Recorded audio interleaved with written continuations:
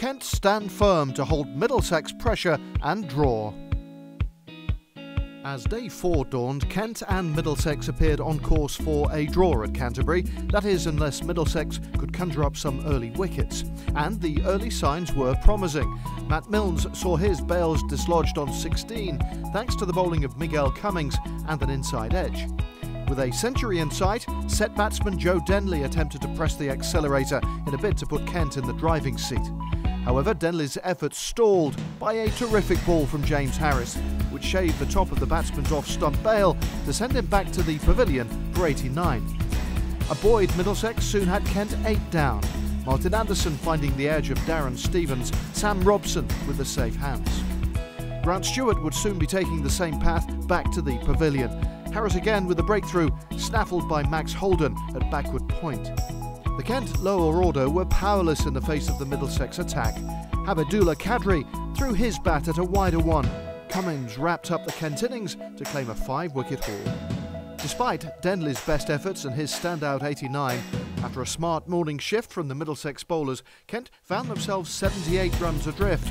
Now the visitors needed to bat for a couple of hours and declare if they were to try and go for a dramatic second Bob Willis Trophy win time running out to force a result, the Middlesex opening pair of Sam Robson and Max Holden looked to clock up the runs quickly. Holden took on the leading role, three boundaries dispatched in one over. Both Robson and Holden carried their bats to lunch, with Middlesex on 34 without loss and a lead of 112. The resumption after the lunch break saw Middlesex make great strides, Robson and Holden fair racing out of the blocks.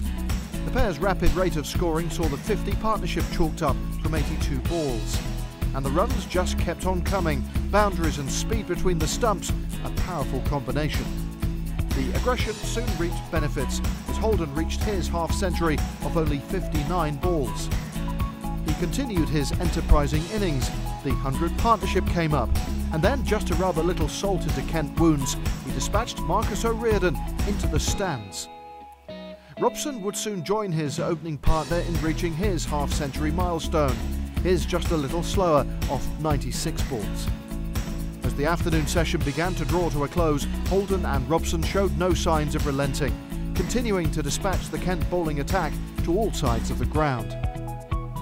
Holden, though, would find himself attempting one heave too many, advancing down the track and hitting an O'Riordan delivery into the air, gleefully taken by Denly. Much to Kent's dismay, the loss of Holden did little to slow the rate of scoring, Robson taking on the role of chief aggressor. Robson's quick scoring would ensure that Middlesex would go into tea leading by 247 runs. Tea brought a declaration from Middlesex, which meant Kent would need to chase 248 to win in the final session of the day. After tea, Kent's best form of defence was attack, as openers Daniel Bell Drummond and Marcus O'Riordan freed their arms and their fearless approach soon brought up the 50 partnership of only 57 balls. The tide was turning. With the runs flowing and wickets hard to come by, though, Captain Stevie Eskinazi and Sam Billings came together to shake hands on a draw. Despite the frustrating rain throughout, both sides will be happy with their four days' work. Robbie White, the standout batting performer for Middlesex, with his 99. But much kudos must also go to Miguel Cummins and Darren Stevens for their outstanding fifers. Kent will be thanking a superb 89 by Joe Denly for preventing a second defeat, a vital innings that took time out of the game. And despite that late pressure from Messrs Holden and Robson, both sides forced to settle for their first tie of the Bob Willis Trophy.